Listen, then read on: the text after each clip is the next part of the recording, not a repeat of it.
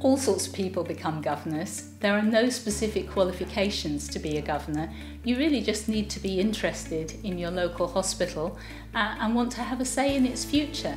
Appointed governors are appointed by bodies like, for example, Surrey County Council, or Guildford Borough Council, or the University of Surrey.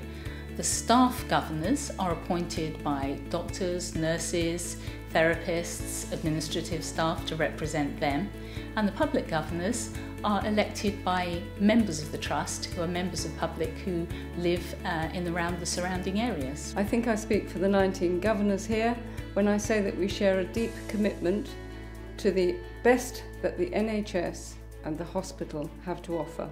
Well, our job is to represent our constituents and the general public to the hospital executive.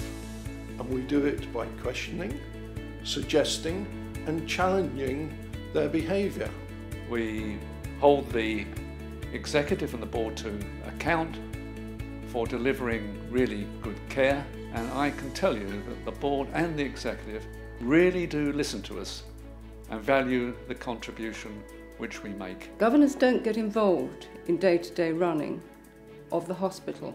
Their role is to ask questions of the members of the board to assure themselves that they're doing what they said they would do and that they're delivering services they said they would deliver. If you want to do this, you need a commitment to the NHS. Still, I believe, one of the best health services in the world. You don't need medical or any other special knowledge. You just need commitment, enthusiasm, and common sense. The level of involvement that you have is really up to you. There's a minimum requirement. You have to attend four meetings a year and they last a couple of hours. Beyond that, you can get involved in a lot more if you wish to. You can be a member of one of the subcommittees of the Council of Governors.